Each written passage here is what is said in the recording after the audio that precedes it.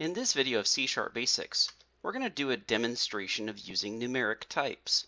So here I went ahead and created a numeric data type folder and put the program.cs class underneath it, as well as I changed the namespace of the program.cs class, as well as I made the appropriate changes to the project to make sure that this program class would be the first class that would run when the project was started. You can go ahead and assume that these will be the changes that I make moving forward to every new class and new folder that we create. So let's go ahead and talk about numeric data types. We already used the string data type when we created this display text variable. Now, because the value that we wanted to assign the display text variable was of a literal type of string, that's why we went ahead and gave it the string data type. First, I'm going to go ahead and comment out this code for the display text by putting two forward slashes in front of the line. Now, using the two forward slashes or commenting out this line means that the compiler will not pick up on this string and use it when it compiles the code.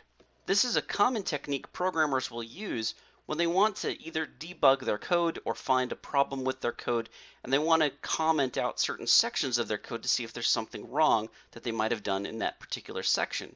The other thing that commenting code out is useful for is to do what we've done just here, where perhaps we want to use this display text uh, string at some other time, but for right now, during the development process, we may just want to comment it out temporarily. I'm going to go ahead and create a new variable and I'm going to put it right below the commented code. Now I want to give my new variable a data type of int, so we can just start simply typing int. Now I need to give the name of my variable. I'm going to call it display int. Then I'm going to go ahead and give it a value here by giving it the assignment operator and then a value of 23. And then of course, last thing we need to do is complete the statement by putting a semicolon. Now you can see that the console.writeLine, the debug write lines are both looking for the display text which has now been commented out. So these lines here will not operate so long as that display text is commented out. Now we could go ahead and comment all of this out, but really I'm just going to go ahead and replace this display text variable with the display int variable instead. So I've made my changes and I put display int for both the console.writeLine and the debug write line. Now you'll probably notice also that the dot count is got this red squiggly line underneath it.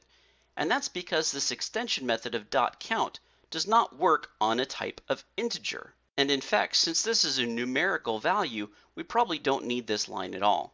Let's go ahead and comment this out as well. Now that we've made our changes, let's go ahead and save the file and run our application.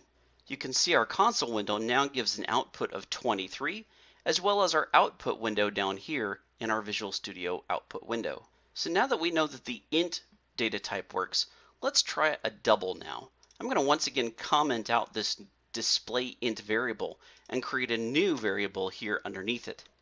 We're going to give this a data type of double and we're going to call it display double. We're also going to need to assign it a value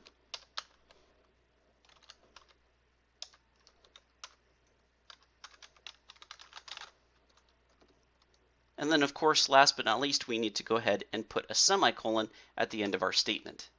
Now we need to change our console.writeLine and debug write to use the new variable.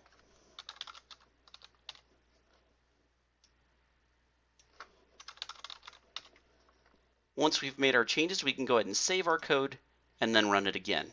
As you can see, we have the value of 25.003239834894, which is precisely the value that I put down here when I coded this project. We also can see down in the output window the same value.